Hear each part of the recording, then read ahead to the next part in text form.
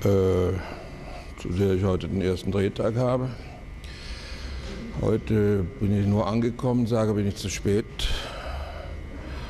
Äh, ich werde noch, äh, der schleicht ja dann gleich wieder ab, kommt also nur ganz kurz her, um zu sagen, dass er eigentlich in Süddeutschland dringend gebraucht wird, um einfach aus Berlin wieder rauszukommen.